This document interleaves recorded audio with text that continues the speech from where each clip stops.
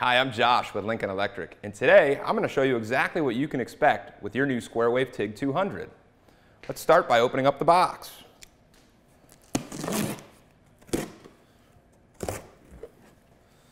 Whole bunch of accessories. Let's get these out and take a look at what we have.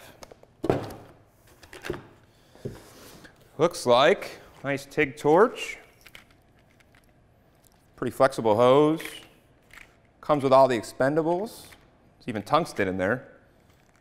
Flex head, that's pretty nice. Pretty nice torch for an entry-level machine. Couple of input cords, one for 120. This one's for 230, so I can plug it in anywhere. Nice industrial foot pedal. Foot Amptrol, that's pretty nice. Gas hose, the Harris regulator. Get that out of the way. See what else we have in here. Oh. Nice instruction guide. There's a quick start guide too. Should make it easy to briefly reference all the things on the machine.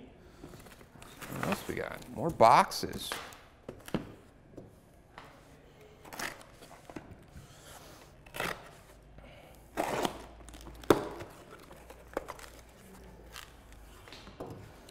Stick electrode holder in case I need to do some stick welding.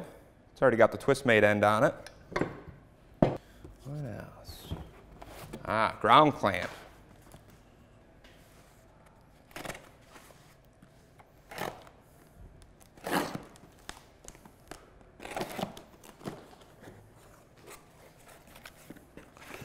Pretty decent. Looks about a 10 foot ground clamp. Already has the twist Twistmate on it got? And the machine. A minute here, we'll pull the machine out. Box out of here. So there you have it. The new SquareWave TIG 200 comes pretty well loaded.